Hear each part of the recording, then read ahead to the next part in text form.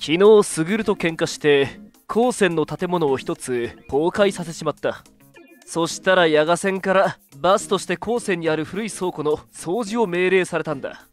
掃除とかめんどくせえ。建物破壊したのはほとんどスグルなのに。まあ俺もちょっとだけ壊したけど。まさっさと終わらせてまたスグルに喧嘩売ってやるぜ。マジで汚ねえなこの倉庫。埃まみれだね。ああダリー。もうさこの辺術式で吹っ飛ばして地形ごときれいにしましたってことにすればよくね？もっと重い罰を受けることになるよ。口ばっかりじゃなくて手を動かせ五条。たくなんで関係のない私まで掃除をさせられるんだよ。俺たちの喧嘩笑って見てたからだろ同罪だよ。はあ？だいたい悟が私に付き合うなら絶対年上だよなって喧嘩を売ってきたのが始まりだろいやいや年下の方が好みいいとかお前が返すから悪いんだろ絶対年上。年上のお姉さんに憧れはねえの？可愛い年下の女の子に甘えられる方がいいだろはあまた始まった。なあ翔子。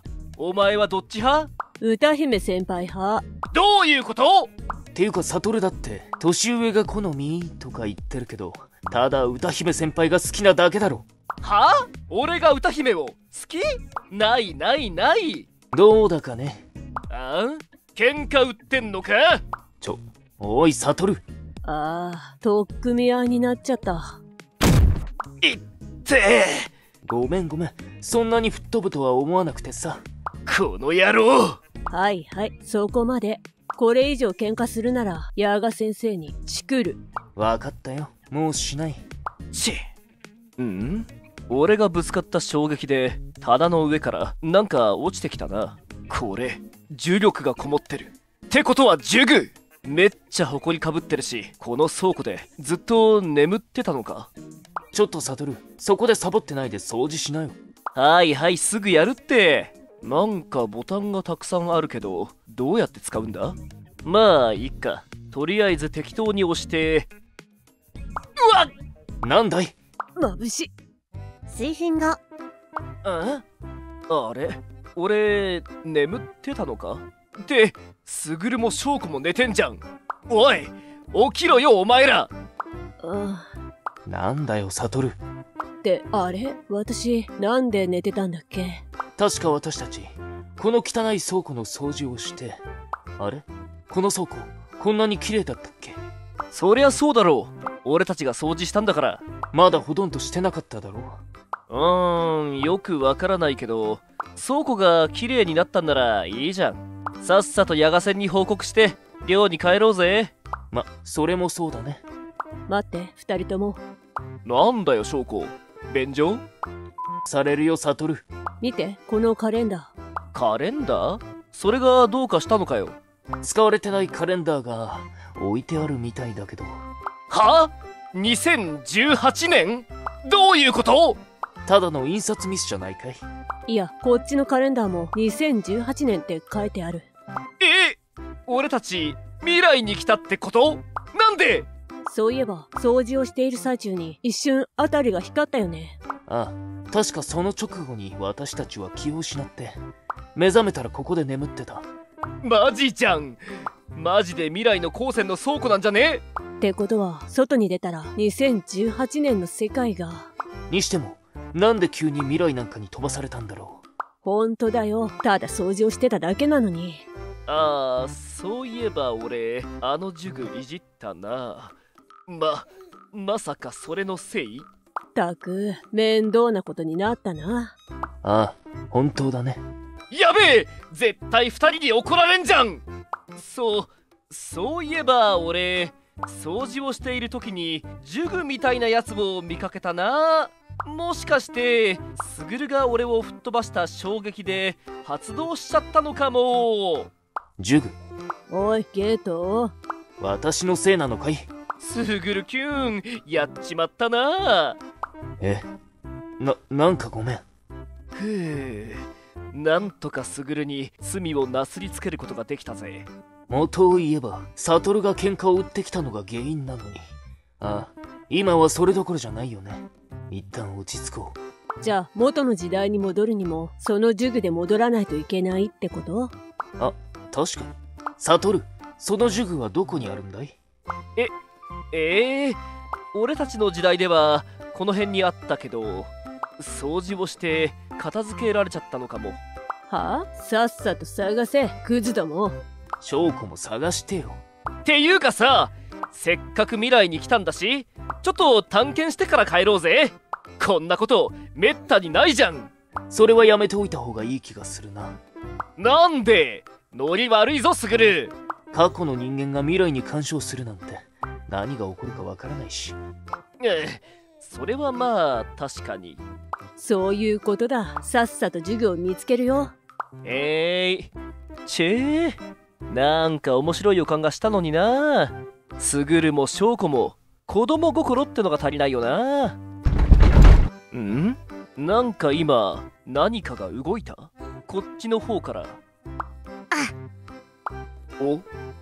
おお誰？どうしたんだいサトル。え何？子供？ど、どうしよう。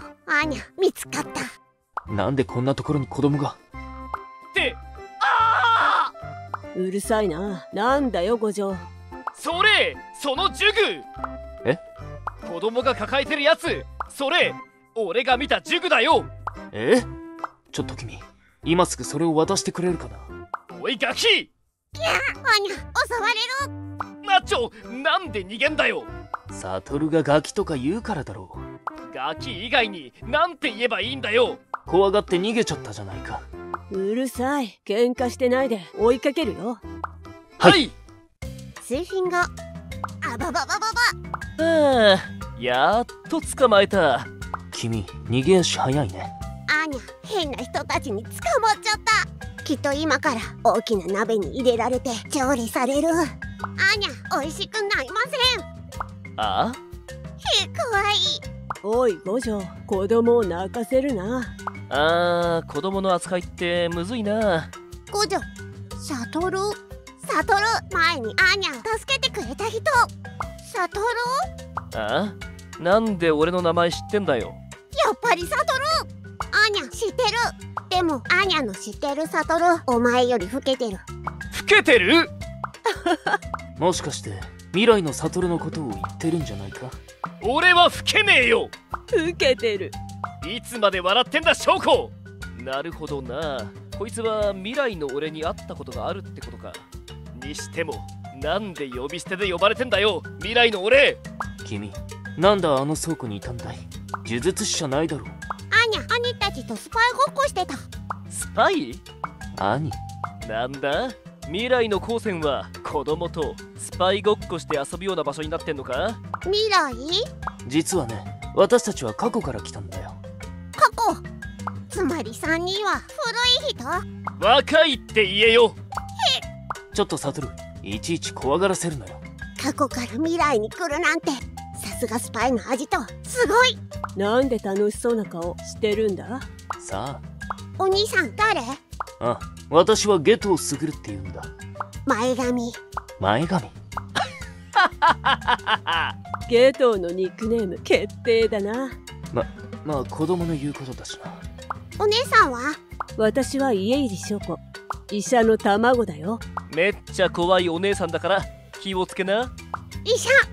おう私は医者って呼んでくれるみたい。そんで俺は？サトルなんでだよ！俺にもニックネームくれよ！それよりサトル早く授業を持って過去に戻ろうよえああそうだな。偶然。まだ他の人と会ってないけど未来の知り合いと遭遇したりしたら驚かれるしね。えー、っと確かこのボタンを押してサトル呪具の使い方がわかるのかい？戸惑いもなくいじってるけど。ししまった。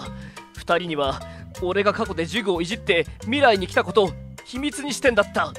いいやーわかんないけど俺にかかればちょちょいのちょいよ。サトル必死。サトル嘘つき。使い方知ってる。え？ちょなんで？お前さては過去でこの授業をいじったんだろえ？やっぱりサトルがいじったせいでこうなったんじゃないか。私に罪をなすりつけて。わ悪い。たくもういいよ。戻れるなら。医者も前髪も行っちゃうの？アーニャ寂しい俺は俺は寂しがってくれないの。じゃあねアーニャ。未来の私たちに会ったらよろしくね。アーニャよろしく伝えるます。いや驚かれるから伝えなくていいよ。了解ですます。数分後戻ったな。いや不思議な体験だったね。まさか未来に飛ばされるとはな。あれ？この呪具使えなくなってる。一回きりだったのかななんだよ。好きな時に未来に行けるかと思ったのに。ああなんだか疲れた。さっさと寮戻って休もうよ。それもそうだな。うわすっかり暗くなってんじゃん。未来で過ごした分こっちでも時間が過ぎたみたいだね。ん？ヤガ線からメッセージ来てる。ヤガ先生？倉庫の片付けをお願いしたはずだがなんで元よりも散らかってるんだ？やっべ！忘れてたさて私は関係ないので帰ろうかな。させるか！一緒にお片付けしようね。ええ一方未来の高専そんでさそこのスイーツが絶品だったわけ。また食べたいな。へえ美味しそうだな。思ってないでしょ？んあそこにいるのって。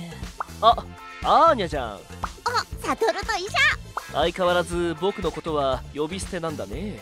医者って私のこと？会ったことあったっけ？しまった。アーニャ昔の医者には会ったけど今の医者には会ったことない。アーニャ何でもわかります。お姉さん医者。そうだよ。昔の3人に会ったこと内緒にする。アーニャそう約束した。また高専に遊びに来てたの？兄とウニとスパイごっこ。楽しそうだね。あれ？どうかしたか？ん？前髪？前髪だけいない。よくわからないけどそういえば僕の親友に変な前髪のやつがいたな。ああそういえばいたな。変な前髪のやつ二人とも笑ってる。でもちょっと寂しそう。まあいっか。サトル昔より老けた。急に何？その後。急にアーニャに老けたなんて言われて驚いたよそういえば昔アーニャに似た小さな女の子に会ったことがある気がしてきたんだけどきっと気のせいだよね。にしても前髪か。なんだか久しぶりに懐かしい気持ちにさせられたな。動画を見ていただきありがとうございます。鮭昆布ツナツナ。うえっと他の動画も見てねと言ってるのだと思います。うよろしくお願いします。チャンネル登録も忘れないで。